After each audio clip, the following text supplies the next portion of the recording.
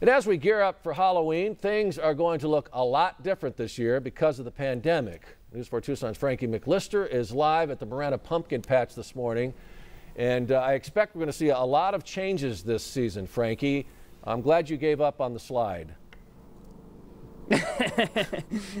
After the story, we'll see if this one works better, Sean, than the last one oh, we boy. saw 20 minutes ago. But it's it's been really interesting learning about how area fall attractions are adapting with the pandemic. And here's what I found out about the slaughterhouse, and here, the Marana Pumpkin Patch.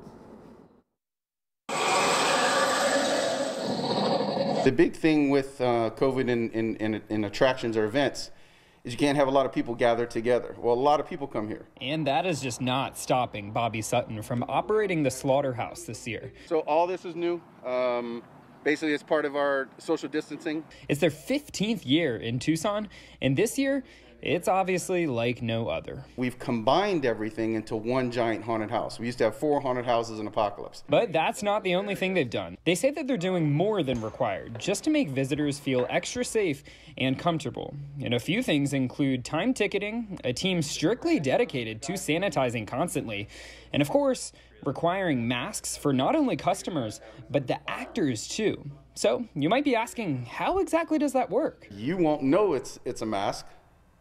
It looks like a full face makeup, but it's actually a printed mask with the makeup above it. And people are going to really get a shock out of that. And another way that Slaughterhouse is adapting with the COVID 19 pandemic, they're lowering their pricing by at least 20% as they understand as a company that many people have been out of work this year due to COVID 19. And about 28 minutes north of there, the Marana Pumpkin Patch is doing much of the same. They've relocated attractions. Created longer queuing lines, placed hand sanitizers everywhere, they said.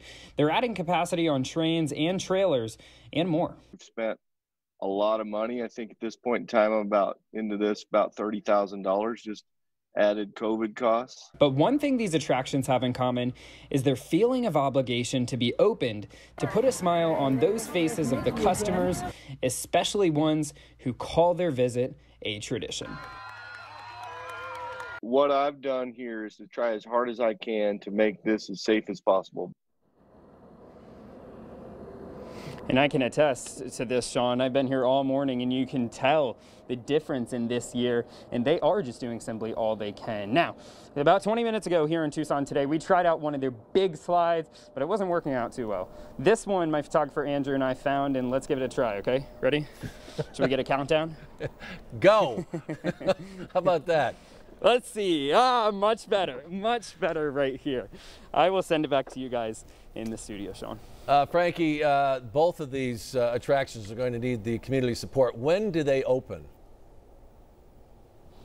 Yeah, the Marana Pumpkin Patch opens on Saturday, this Saturday, the very first day. That slide is definitely ready, as we just saw. And for the slaughterhouse, the legendary slaughterhouse down off of Grant and I-10, it opens today, but that location, you need to get all your tickets online. And they said that they've already seen a lot of sales for their online tickets.